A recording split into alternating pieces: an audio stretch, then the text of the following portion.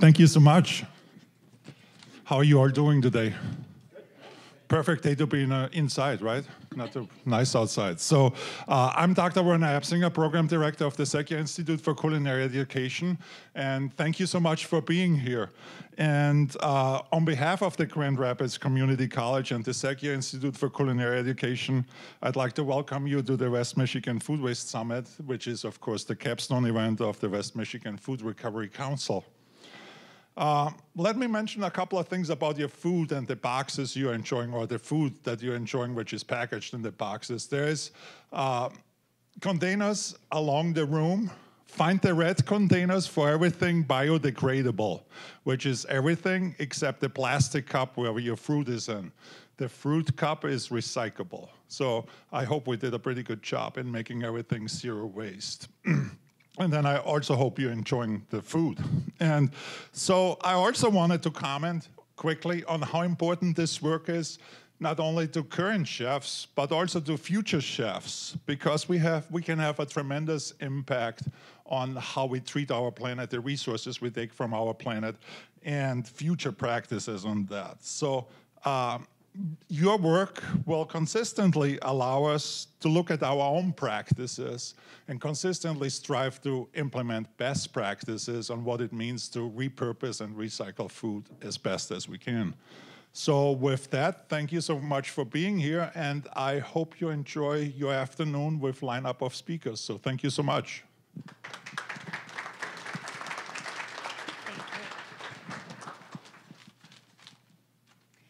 Thank you, Dr. Absenger.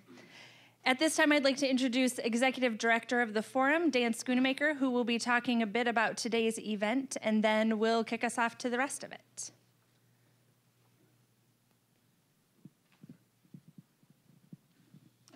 His bio sheet. He's gonna walk away. I'll just make it up. Thank you for coming today. My name is Dan Schoonmaker again, the Executive Director of the Sustainable Business Forum. Uh,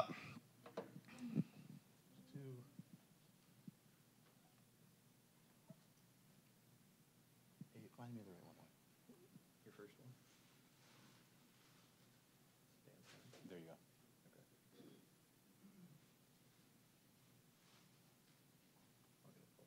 All right, thank you.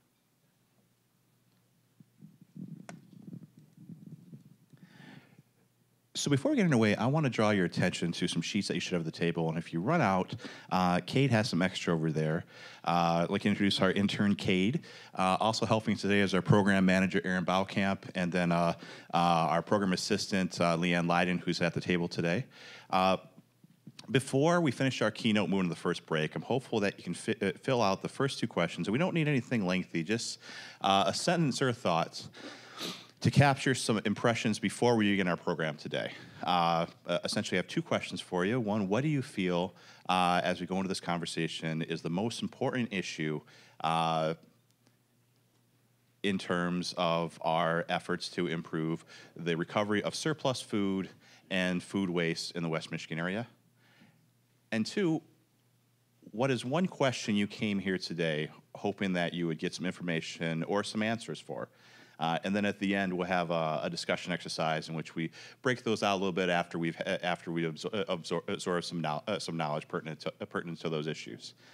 Uh, again, as a reminder, if you do leave uh, uh, in either of the either of the breaks coming up, Leanne will have parking passes available avail- avail- available for you and another pitch for our annual meeting, which is which which is in June. If you haven't been to Sustainable Business Forum event, I hope you enjoy this one, and I hope uh, we see you again next month. Uh, so I wanted to quick start out with uh, an introduction to why we're having this event. So three years ago now, uh, we did a uh, a landfill study uh, that was designed to do a characterization of what materials are going into local uh, into, into local and Michigan landfills and waste energy facilities, essentially to get a picture of what is we're throwing away. Uh, when we did that, we found that, with the exception of a category we just kind of referred to as miscellaneous inorganics, food waste was the top material that we were currently throwing away, And if we wanted to forward uh, our mission, Sustainable Business Forum, uh, one of our three strategic fo- focus areas was the uh, was the capture and diversion and repurpose of otherwise valuable waste and the reduction and maybe someday elimination of flows to landfills, uh, we knew we needed to kind of start unpacking that issue. So in West Michigan, based on our findings, we estimate that 132,000 tons of food waste is going to local landfills each year. In Southwest Michigan, so the, uh, the area that would run from uh, Kalamazoo to Berrien County within our footprint, it's around 106,000 tons. Together, Michigan disposes of an estimated 1.1 million tons of food waste through its Michigan waste stream each year. Uh, and again, that's the single largest source of waste material we're currently sending, sending to landfills, waste energy facilities. And if we look at national data and extrapolate that against what we know locally, we believe that grocery operations, commercial, and institutional food service account for roughly half of that, with the other half being uh, a small amount for manufacturing, and then the bulk uh, uh, individual residents and citizens that was interesting to us because commercial and institutional food, food service represents a good portion of our membership. Uh, and our flagship members, just about all of them have uh, some, some, some exposure to food waste. And in fact, that they found that that is one of the more problematic issues that they've had to, they've had to deal with in recent years. So through our efforts, we, we realized that there was a need for peer-to-peer education, multidisciplinary networking, technical resources and opportunities for collaboration around the issue of uh, uh, of food waste and recovery of surplus food. So we worked within our membership and a statewide organization called the Michigan Local Food Council Network, which provided a small seed grant to help us put together an initiative uh, that could bring together the, the, the stakeholders that, that would form this council uh, around these five objectives. Uh, so general improvement of food recovery in West Michigan, promoting a hierarchy of waste reduction, feeding the hungry, feeding animals, composting renewable energy, define the barriers to food recoveries in our region, establish a community of practice among professionals who are interested in forwarding solutions around this issue, uh, and finally, introduce local generators of food waste to higher value recovery options, and then to facilitate collaboration between initiatives like this, which is uh, largely begins from a perspective of the corporate and institutional stakeholder with the many environmental and community health initiatives uh, that uh, are approaching the issue from uh, similar and complementary perspectives. This is a slide that I took from ReFED that's, uh, that JD didn't end up using, and I thought it was pretty valuable. Uh, just capturing some, uh, some work they've did for their, their ReFED food waste baseline to give you, give you some uh, further context of how large this issue is. Uh, and I think you've been in this room, you've probably at least seen some media reports of the past you know, two, four years uh, that have talked about this. but they found that you know, 60 million tons of food waste in the U.S. each year with uh, a value of approximately $218 billion. Every year, consumers, businesses, and farmers spend $218 billion on food that is never eaten.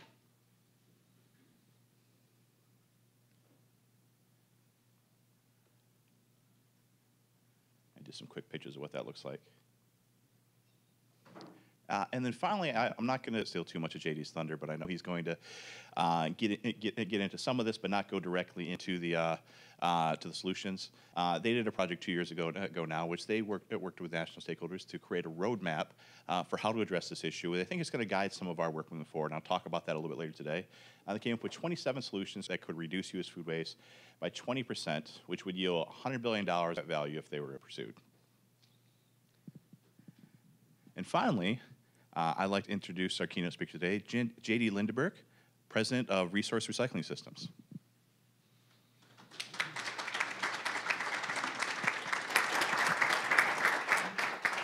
Thanks, Daniel. Can you all hear me? Yes. I've got a, I've got a, um, I need the, uh, the hand clicker if I can. Oh, sorry. Right there you go. All right. So um, while they're getting that up, up to speed, I wanted to first of all thank Daniel and, and the rest of the organization for inviting me to be here because this is a lot of fun for me. I really enjoy seeing old faces, but more importantly, seeing new people and seeing new people who are committed to this particular love of mine professionally, which is uh, the recycling recovery of food waste. And um, Today I'll have a little bit of a chance to, with some background that Daniel provided on ReFED, which is a report that we did two or three years ago, uh, rethinking food waste through economic and ec economics, and then there was some other thing that didn't flow very well with D. Um, But what it did is it lent a certain amount of insight into the problems that we're dealing with. But today, I'm going to focus very specifically on a couple of things. And part of that focus is on how food waste can become new food. And it's become, for me, very much of a, a, a almost a moral or ethical passion. Um, and I'll, I'll lead you through that. But um, it's something that I find sort of very charismatic. Because look at this. We're heading into spring. We're heading into spring, and this process is going to start across the country. And in many cases, it's going to be in our backyards. And I think that that's pretty cool. My tomato plants, my, my, my basil plants went in this, this, this last weekend. I'm kind of living in Mount Pleasant. I'm, I'm risking the, the, the, frost a little bit, but I figured, hey, I'd rather trade that off for early, uh, early tomatoes so I can beat this fellow who's my neighbor because we have this competition about who can have the first tomato. So, you know, I'm going to give him some extra plants, but you can't plant them for another three days, so I got a three day lead on. him. but um, all joking aside, this is kind of cool. And, and in my view, the recycling of food waste is way more charismatic than the recycling of these things. How many of you plant things in your backyard or on your decks? Majority, right? How many of you have been to the place where you recycle this stuff? And by recycling it, I mean the factory where it gets shredded and washed and turns into new resins. Not so many, right? It's kind of post industrial. Whereas the growing of plants in your backyard is personal. And I think that that's a critical component, and that's a theme that we're going to we're gonna revisit throughout this talk today is the fact that it's personal. This is the slide that Daniel didn't use from ReFED that I wanted to, wanted to focus on real quickly because what I want to do is I want to let you all know that many of you are working on all kinds of food waste recovery, right? And starting with reuse, starting with feeding the hungry, even putting it into animal feed is obviously a much better and a much higher use approach to managing food waste than composting or digesting it anaerobically, right? I think we can probably all agree on that. If we have a chance, we have a chance to, to deal with hunger in this country through recovery of food waste, we ought to do that. But the fact of the matter is, those high value solutions really only uh, impact about a third of this, a third of this flow of material, right? And my focus then, even though we'll stipulate to the fact that this is better, there's a limit to what we can do there. You can't make a lot of good meals out of banana peels three day old lettuce that's been sitting around and started to get slimy isn't going to be something anybody wants to eat. We shouldn't expect anybody to do that. So where instead we're going to be doing is over on the solutions that can deal with industrial quantities of material. And what I've spent my time thinking about in the last 15 or 20 years is how do we how do we stimulate the investment, the billions of dollars of investment that are necessary to get businesses to do this? And this is a private sector oriented group, right? This is a business forum. And so people are thinking about how do you do this so you make money? How can you borrow against your business ideas so you can get the capital necessary to do this? Because it costs money to do it right. So the piece I like thinking about is where are we going to deploy the five or five, 10, 15 billion dollars that's necessary to do this recovery to get to 25 or 50 percent? And that's the thing I'm going to talk about today.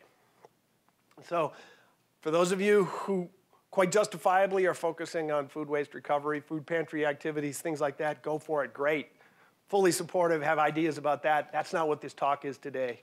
Uh, this talk today is about the boring stuff of, of, of getting out there and doing the food waste recovery. So, this is going to be in three parts.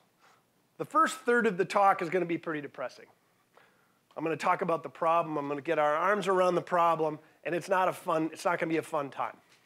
Then we're going to talk about some of the amazing parts of composted organic material and what it can do in terms of being part of the solution and why there is some hope to the problems we're talking about in the first part of the discussion. And then finally, we're going to look at some of the uh, critical pieces to making the second part work Can't just snap our fingers and have it work. What are the key parts to this? And what have we seen nationally? What have we seen internationally that make these things, make these things a success? So we'll start with the fact that, hey, listen, population is growing, right? And it's mounting up pretty quickly. We think we'll probably get to about 10 billion people in this world by 2050. We're at about 7.5 billion right now. There's some thought that uh, there's, there's sort of a natural carrying capacity. Well, what is carrying capacity? Carrying capacity is the point at which the Earth's resources, uh, fertility, water, um, critical minerals, things like that, start getting to the point where there's not enough for people, all people, to have a suitable lifestyle that is worth living. And you know, we're starting to get off into sort of some you know, issues that become uh, religious, become ethical, things like that. But I think one of the things that would be uh, that's important, and I think most of us can agree on, is most people want to have a better life, right? And we want to feel like other people have a better life. And so that's part and parcel to the reason that I work on these things because this carrying capacity is a problem, and feeding people in particular is a problem because there's lots and lots of people. And there's lots and lots of people in parts of the world where we're not living. I'm living up in Mount Pleasant, um, central Michigan. Lots of farmland, not a high density population. Doesn't look like this, right? Doesn't look like this either. We know we've got issues with variability in drought and rainfall that are, that are more extreme than they were before. And the impact on that is, is that there's, there's substantial erosion, both airborne and waterborne, of topsoil. There are those agronomists internationally who think we might have lost as much as a third of our topsoil. That layer of soil that supports the growth of, of, of the vegetable matter that ultimately feeds all of us.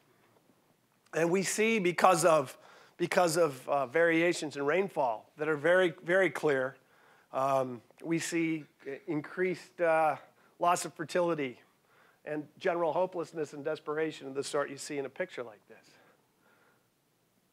But is that exclusive to Asia? Is that exclusive to those parts of the country, parts of the world like Asia and Africa that we think of as having high levels of poverty? No, it's not.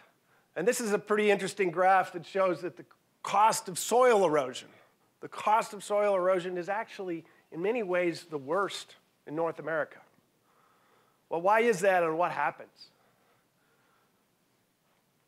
Mississippi River Basin drains 40% between the Mississippi River and the Missouri drains 40% of North America, 48, 40% of North America. Crazy.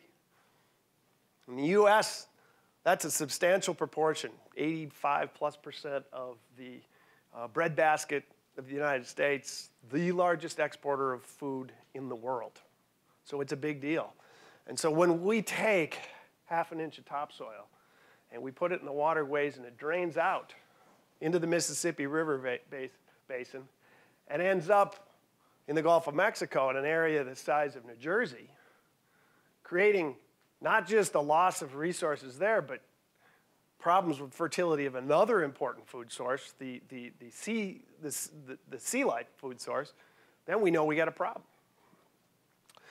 Lately, one of the things that I've also run into is there's another significant part to this, which is the nutrient density of food is declining. So if you, if you, if you put these things together, you start seeing there's a little bit of a vicious cycle that gets us to a point where we need more food because we have more people. 85% of our arable land is under use, so we can't necessarily go west anymore, like, like traditionally was part of what, what North American sort of expansionism was about. And recognizing that for whatever reason, probably the um, concentration of processed food, we're getting less nutritional value out of the food we have, well, we got a problem. All right. Now that I've thoroughly depressed you, where do we go with this? I know, it, I know it's something that bothers me. So let's look at the soil and let's look at the things that we can potentially do with the resources that we have, with the compostable materials and the waste streams that we have. Well, for starters, the soil is a pretty amazing thing. And if you see a cornfield like this, you can think of it as a carbon bank. Well, what does that mean? Well, first of all, first of all, if you, if you assume that a finished compost from an industrial sized compost facility or your backyard is 50% carbon, you recognize that by applying it to these farm fields, you get a whole bunch of benefits. You get increased fertility, you get sequestered carbon, which is a good thing from the point of view of letting carbon get into the atmosphere. You probably get virtuous cycle kinds of activities where the carbon sequestration actually folds in on itself and grows. There's some, activity, there's, some, there's some research activity going on in Northern California called the Marin Carbon Project that has some really, really exciting results that show that if you were to apply enough compost and it's a measurable amount, it's not an exorbitant amount, you could potentially, it could potentially offset all of the carbon emissions of California, which we all know are immense. You know, the eighth largest world economy by itself. And you get other things like water holding capacity and the ability to grow more corn and things like that. If you want to see it in terms of data, here you are, both on gardens and on fields. What you end up seeing is, is from a control point of view or a tag row perspective, the measurements here were of a composted material. And you can see that you're getting demonstrably better carbon uptake into the, uh, into the fields as well as better till capacity and fertilizer replacement, all of which are good because um, uh, man-made fertilizer, uh, conventional fertilizers are highly energy intensive, have a very large carbon footprint, and use lots of energy. At the same time, you get really significant nitrogen benefits from the same application. And if you look at this same field with the same farmer, with two different outcomes, one a conventional approach and another a compost approach, you see that they get, across all sorts of measures, better performance. Well, that's pretty amazing. How do we get there? Well, for starters, one of the good news is, is that we're in a better position now with better equipment to actually take advantage of this. Because for a long time, we were prepared from an, an ag equipment perspective, you know, to only work with materials that were customarily used. And there's been a lot of development of the ability to do top dressing, um, application of compost, things like that in ways that are now much more efficient and precise that are, that are appropriate and similar in technological merit to what we see with um, more conventional agriculture. We also have had an increase in really significant uh, customer awareness, personal awareness, and people's belief that this sort of thing works. And again, this plays back on my own personal view that you have to make things tangible for people. Why do you choose to recycle? In my view, having spent 30, 35 years thinking about this both from a food waste perspective and a, and a sort of a standard, a standard recycling process, whether it's, you know, whether it's, no, I don't mean anything bad about your annual report, but ultimately I hope it'll be recycled after people have read it. Um, recycling conventional materials, you want to have a personal connection to do it. You want to believe that you can make a difference to do it. And personally, I think it's easier to believe that you can make a difference when you see that things are being grown from it and you feel like it's something that you might ultimately eat. But that leads to another problem. It turns out that quality is a really big deal. Do you want to put crappy stuff on your tomatoes and then eat those tomatoes? I don't. I don't. And so when you look at the amount of material that's available, first of all, it's pretty substantial. Daniel, Daniel showed it what it is for southeastern Michigan. This, this, this is for, this is nationally. And this is pretty relevant, I think, because, you know, what we see here is that there's about 120, 25 million tons of material, or all kinds of organic material, ranging from food waste to yard trimmings, uh, to biosolids, to, um, to manures that are going um, unrecovered. And I want to be a little careful about this because when you're dealing with such a, a, wide range of material streams, you get yourself in a situation where I don't want to offend the farmers in the room because they're in many regards managing their manures in a, in a, uh, in a responsible way. Um, but the point I want to make is that there's some, there's some more effective means of recovering the fertility value, the N, the K, the P, the C, out of those materials than probably is going on right now. All right? The other point I want to make is, is that we have approximately 125 million tons of this material available every year. Fertilizer use in this country is approximately 55 million tons a year. Again, comparing those two numbers is risky business because they're not the same material, they don't have the same moisture content and whatnot. But the reason I want you to think about that is, is that we're in the right order of magnitude. And by the time you by the time you actually make the various conversions and connect them to reality, we're not too far off. And the, so the point is, is that, that we have a fighting chance of taking these, these resources of fertility, resources of soil improvement, redirecting them to the agricultural lands, to our yards, even to our golf courses, to our tomatoes in the back seat, the backyards and things like that, and effectively using them and having enough to really make a difference. That's the part I want you to remember. So, this is our food waste. Cade, why don't you show them our food waste here? I stuck my head in here earlier on and I discovered that most of you are pretty hungry. And that there's very, very little remaining sandwiches and people's apple cores, apple, apples are sitting on the table and they're not in there and, and whatnot. But that, but that and that is actually sort of one of the examples of where food waste is headed, right? Is that here we are, and we'll talk about this, we'll talk about actually some of the challenges of recycling in a venue like this uh, a little bit later. But that's food waste. And it doesn't look like manure.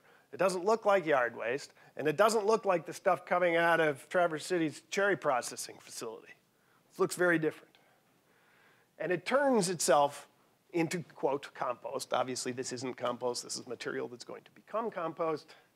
But it is a variety of materials in various stages of breakdown. Now, let's stop and define a term or two. How many people are familiar? I apologize. I got a cold this weekend. Um, how many people are familiar with anaerobic digestion? Okay. And how would you say anaerobic digestion is related to composting? I would hope the answer that you would use is that anaerobic digestion is a train station on the way to the destination of composting. Because the problem with anaerobic digestion is, is that if you forget that you have an undigested digestate after you've extracted the methane gas, and you've got this remaining material, you're going to have a problem. And that material still has to be stabilized aerobically with oxygen, i.e., when it breaks down, it makes CO2 and carbon, as opposed to anaerobic without oxygen, where it bonds with H's and becomes methane, CH4. Point is, at the end of the day, you're still going to have this unbroken down material that needs to find a home as a soil amendment. And so, in my view, it doesn't really matter whether you choose to do one or the other. You can be a wastewater treatment plant operator where they've been doing anaerobic digestion forever and you still have biosolids at the end of the day. And those biosolids still have organic value. Full stop.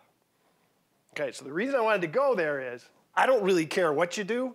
In the end, you're going to end up with this. It's just going to look a little different after it's gone through anaerobic digestion. You're still going to have this un, un, you're going to still have this digestate you have to manage. Okay, now we get into some of the harder questions. This slide is about contamination, right? And so on the right side, you see obvious contamination, right? Plastic bags. Big issue.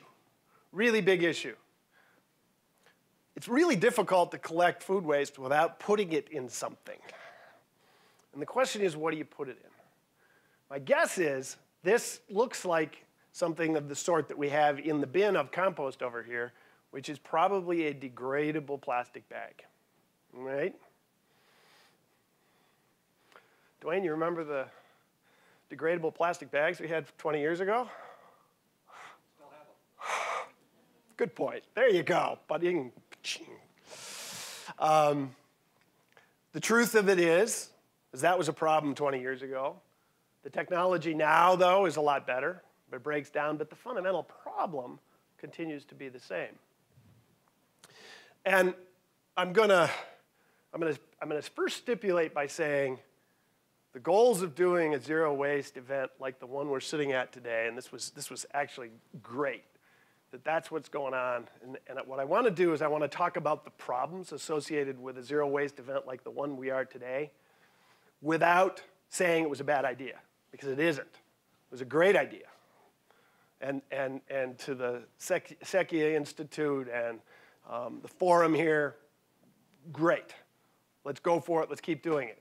But what I want to do is have an honest conversation of what the problems are so that people like you can have the insight to say, here's how we have to mitigate those problems. So how do you, so, so let's look at this. Let's also look at the things in front of us. You got this, right? Kind of cool, right? It's, it's biodegradable. You know, it's, it's, it's, it's certified compostable. Are there composters in the, operate, in the, in the room here? How's this go through your system?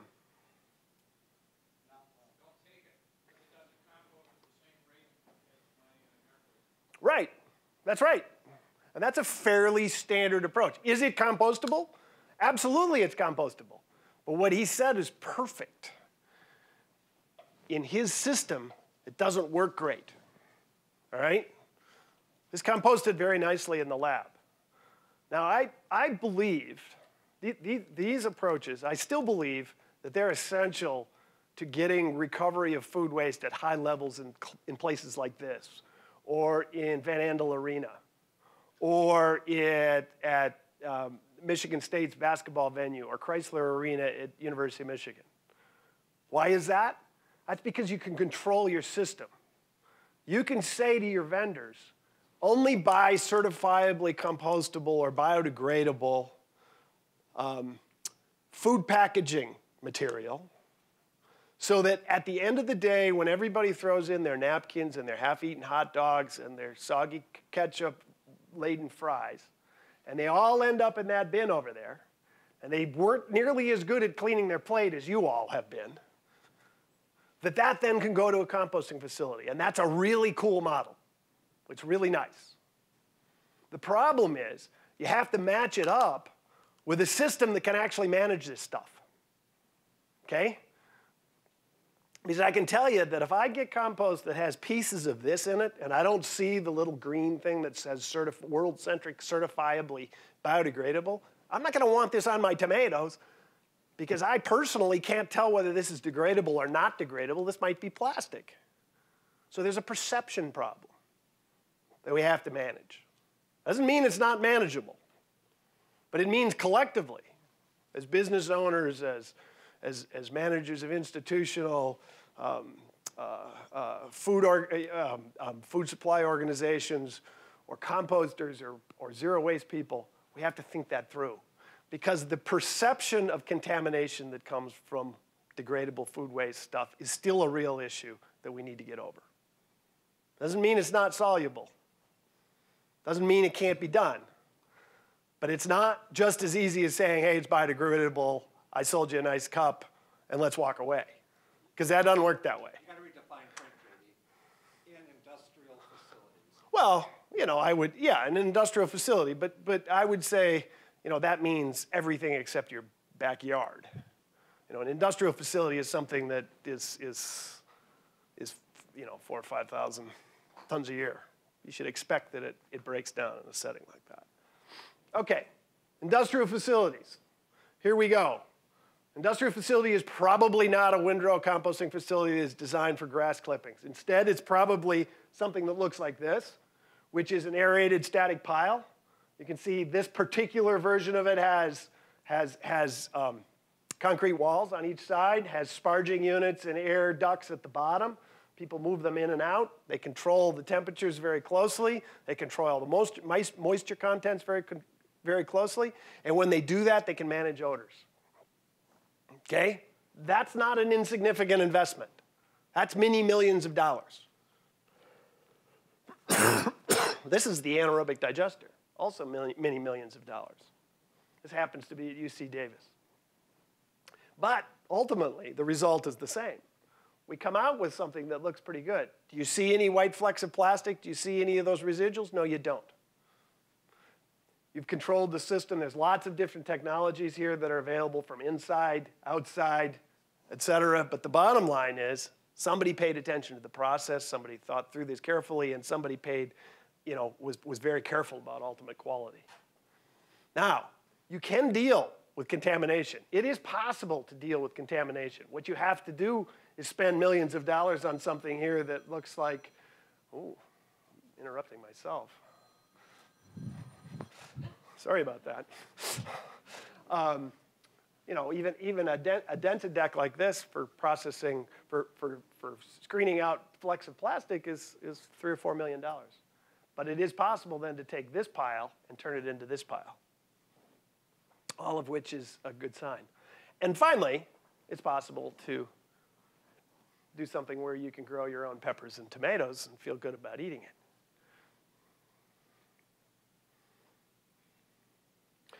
All right. So, how do we get there? How do we make this a viable business? A friend of mine in the business, Tim O'Neill from Engineered Composting Services, ECS, as part of his um, uh, aerated windrow design practice, and he's built a lot of the big facilities across the country, and he's worked with a lot of the successful composters. Now, one of the things that I want to want to I want to I want to communicate effectively here is that you shouldn't confuse the composting infrastructure with the recycling infrastructure. Recycling infrastructure, there's 500 material recovery facilities.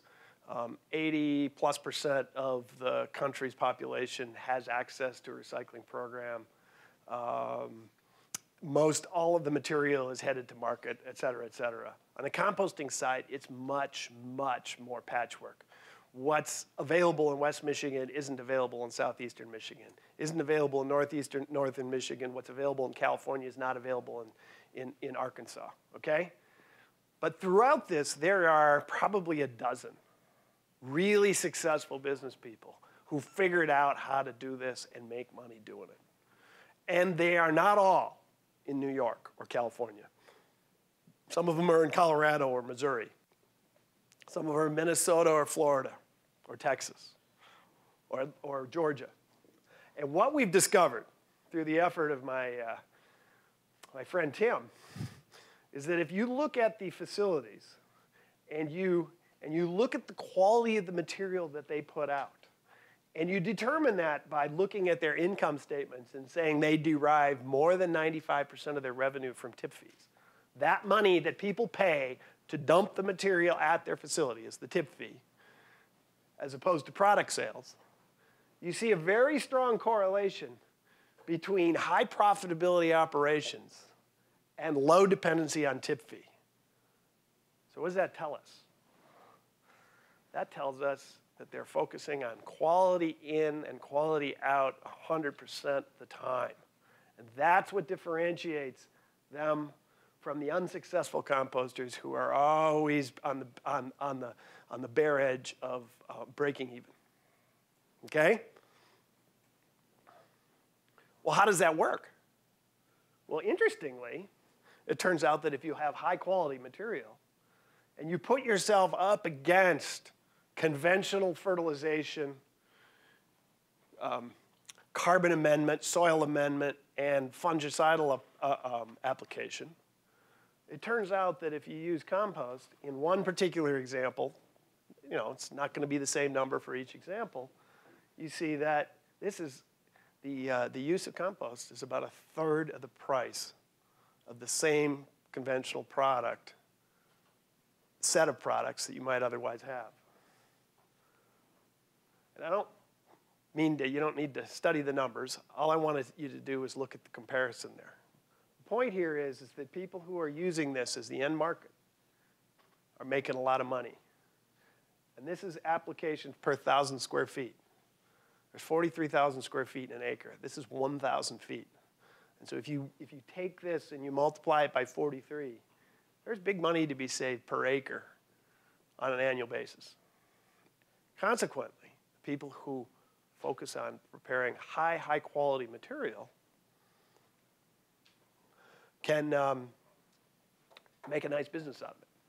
And that's important because that's why you can convince banks to lend you the billions of dollars necessary to build the infrastructure to make this all work. And so it folds back on itself. Now, this doesn't fit very well with my presentation, but it fits pretty well with what Dr. Absenger had to say about the um, food industry's interest in this food waste recovery as well. And that is, is that uh, last conference I was at, I had an opportunity to hear from um, the president of the J- JBF Impact. JBF is the James Beard Foundation, obviously a well known chef.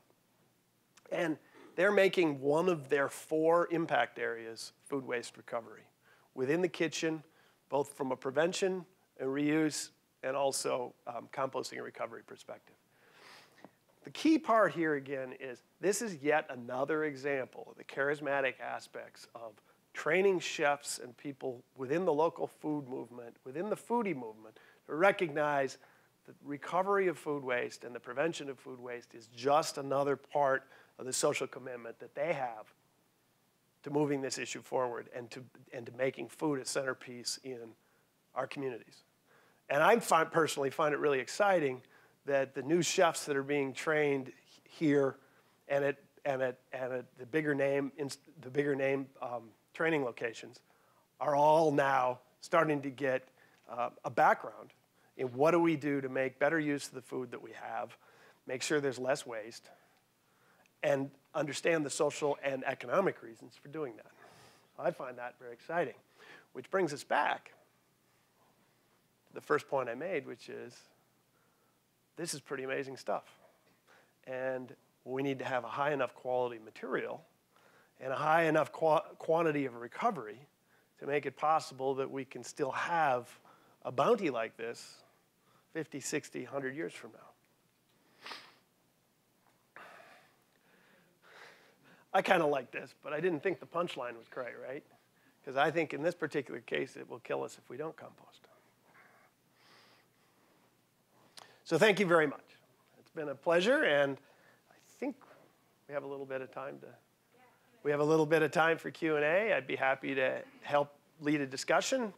Um, I certainly don't think I have all the answers, but there's there's there's plenty of resources available to find those answers if necessary. If you would raise your hand if you have a question, I'll bring you a mic. We have an L-shaped room with about 130, 150 people in it. So in order for everybody to hear your question, I will bring you a microphone.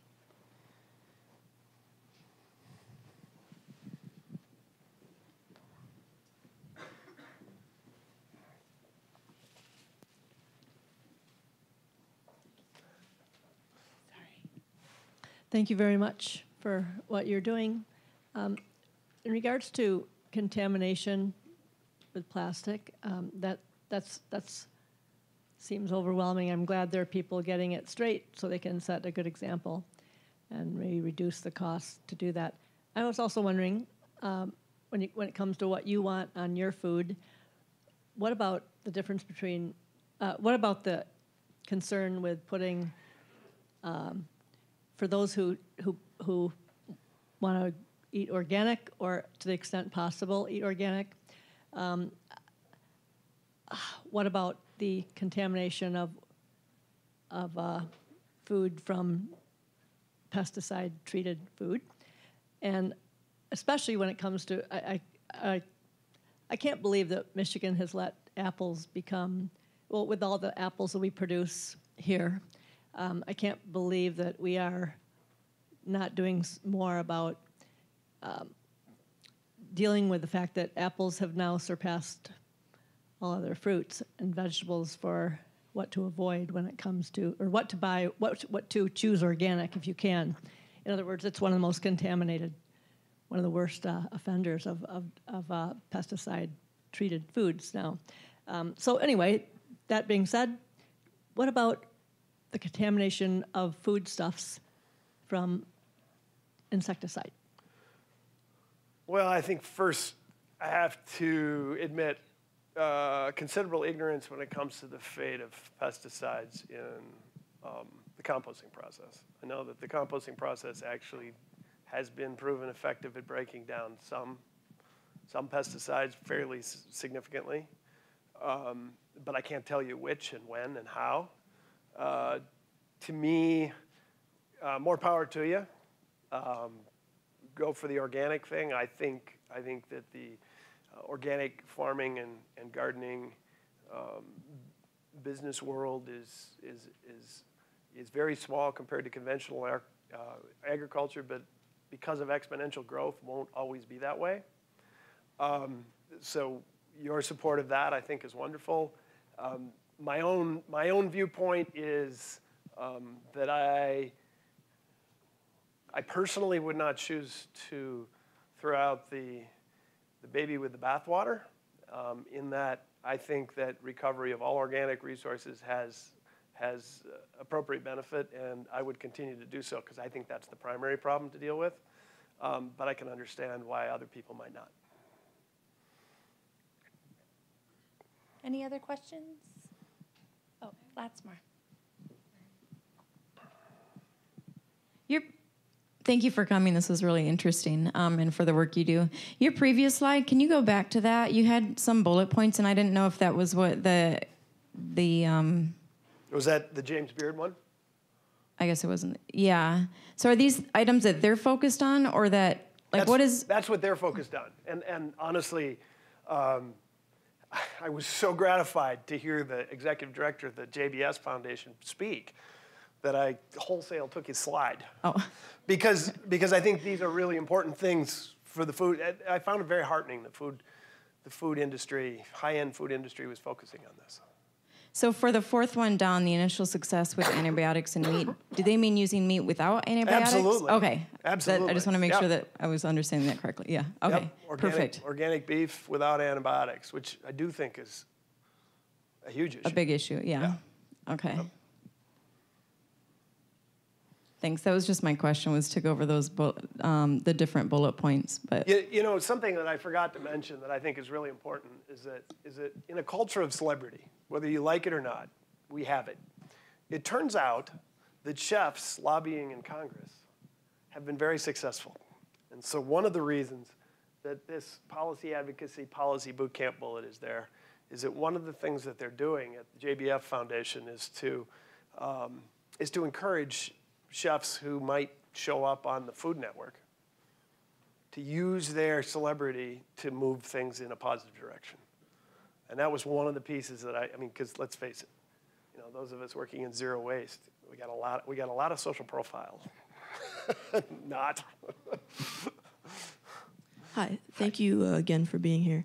Um, I was just wondering when it comes to, like you were talking about the anaerobic digester versus composting, um, both of those have the element of heating and temperature. Um, so I, I guess we kind of have a huge issue here in Michigan where half the year is uh, cold. So what, what would you suggest when it comes to the environmental in- impact of heating these facilities? For, for instance, I go to Michigan State. We have two anaerobic digesters that go down to one in the winter because it costs so much energy to um, heat the, you know, that process. What you know, what would you say to the other environmental impacts of uh, food waste management? Well, so first of all, I would, I would say to you, and I know a little bit about the MSU digester, that um, you can expect that a full-scale digester always, always produces more heat through the digestion process than it's going to consume.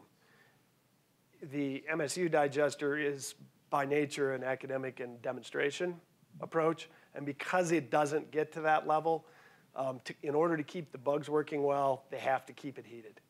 So, um, in general, what you could expect is that um, in a suitably large facility with economies of scale that you need, um, it would have no problem keeping itself heated even in northern, northern, northern Alberta up near Edmonton, which is much colder than here. So, and then the, the heat in composting is all self-generated. That You would never add any heat.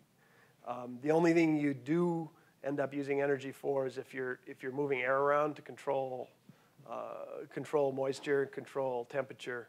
Um, there is a little bit of a carbon footprint with that.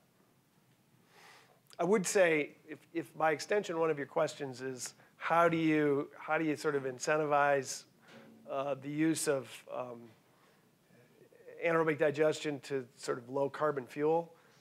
I would say we got to have utility reform. And you can't make this thing work unless you value the carbon in the atmosphere.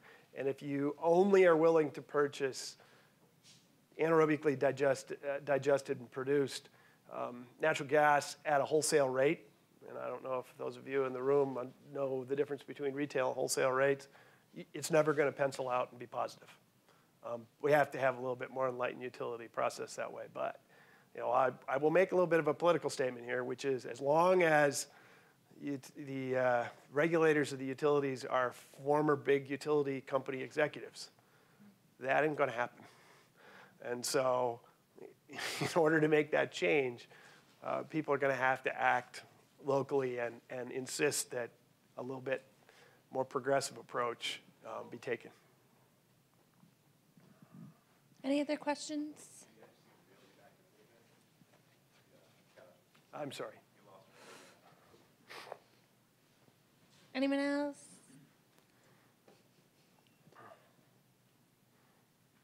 So I got a, I got a question or two for you folks. Um, how do you see this fitting? How do you see food waste recovery fitting in um, with sort of some of the, you know, um, some of the emerging businesses here? I'm, and I'm thinking specifically breweries. I'm thinking, um, uh, I'm thinking, you know, innovative um, uh, food production systems and whatnot. Are there folks from here? Are there folks in this room that are that are part of that industry? Well, Yeah. you got to make the math work. Mm-hmm. So the business and including investors. Nobody's going to lend you the billions or millions of dollars to find solutions if you don't have the, the volumes and the ability to make a, you know, positive cash flow. Mm-hmm. And when you look at whether the consumer or the businesses, and you look at, you know, the logistics cost of redirecting the disposition from landfill, you know, they're have a hard time justifying the added increase. Mm-hmm. So you really, you got a, a yin and a yang working here. So you can make the investments, you can find the solutions, but unless you have the volumes to make the, the money, you're not going to make those investments. You're not going to be able to do that as well as then the consumer, those businesses, if they've got, you know, trying to maximize profitability when you've got the lowest landfill cost in the country here, or one of them, you know, we're, we're all just talking. JD, did you want to give a plug for the uh, new surcharge that's being proposed? Uh, yeah, but Dwayne, you know more about it than I do. Um, there, there is a uh, Dwayne. Dwayne, Dwayne is here for those of you who don't know from the MDEQ, and uh, he's been a long time, a long time supporter of um, organics recovery and recycling in the state, and he's been part of the group that's working on a, a regulatory package that uh, supported by the governor, that they're trying to get through the legislature to uh, provide a little bit, a little bit more incentive um, for recovery of all sorts of materials, including food waste. Right. So uh, right now, there's a proposed uh, bill in where they're going to add $4.44 per ton surcharge on all solid waste that goes into the landfills. So hopefully that'll get our disposal costs up a little bit, even though it sounds like a lot of money because currently you're only paying 36 cents a ton, but to go to 444, you know, I think they figure it's about a dollar and a quarter per person per year is, is really what that's going to come down to when we look at, you know, residentially. So if we can get that money to help fund all these changes we're talking about in the Part 115 statute, oversight, planning grants, recycling grants, anything I think we can do to get the disposal cost up is only going to help. I, I don't know what the residential composting, um, fees are, but it'd be nice to have a tax incentive to residential, so where you have an option that if it's cost neutral, you would see a major shift in disposition. Right. Well, another thing is doing the pay-as-you-throw. So there's all kinds of things you can do. You can do landfill bans, you know, So there's many, many things we can do. Daniel. Thank you. Going back to earlier, we were talking about how there's certain things that just don't make good meals. Uh, we've seen some anecdotal, anecdotal evidence as, we, as we've been going through this that uh, disproportionately high percentage of food that is uh, donated are things that don't necessarily make good meals, like Twinkies and cakes and so on and so forth. Uh, has have you given much thought to that? Kind of how that fits in with uh, with the food waste paradigm? Yeah, and, and, and there's really some there's some really good work going on. Um, the Harvard Food Waste Reduction Project has been focused a lot on that. Uh, ReFED, uh, after the work that we did on the report that we did, has focused on changing policy around donation rules, uh, Good Samaritan rules, other things that make it make it more difficult to sue people donating food that might have made someone sick, stuff like that. But fundamentally, Daniel brings up a key point, which is both, both because of waste profiles, spoilage profiles, and other things, um, donated food waste skews heavily towards carbohydrates. And it turns out that the Twinkies and the cakes are an issue, but an inordinate amount of it is bread as well. Um, and so consequently, um, you know, in many cases, some of the most valuable donations to food pantries are dollars because what they then do is they use those dollars to supplement um, for protein sources and fresh, fresh, fresh fruit and vegetable sources to go with the other material that has been donated. And um, one of the things that we had a major fight in, in terms of the ReFED project, was um, everybody likes to use a unit of a meal saved. And, and they tend to use that rather crudely by taking um, some number that says you get a pound and a half of food per meal.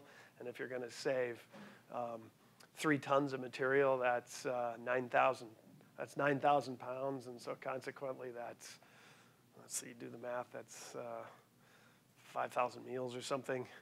And it's actually not. And so one of the pieces that we had to even within our organization and, and within the supporters of ReFED that were a number of foundations that were focused primarily on food waste, food prevention, um, we sort of get everybody thinking a little differently about that and not use those crude measures. And that, that kind of comes from this, you know, let's, let's actually be real about how we talk about food and food donation and not try to disincentivize it, but also recognize that it's not the panacea it necessarily seems to be when people talk about, you know, five tons of food donated in Ann Arbor or Grand Rapids or something like that. I think we have time for one more question, if it's a short one. It's somebody in the back. Oh, all the way in the back. I'll walk towards you.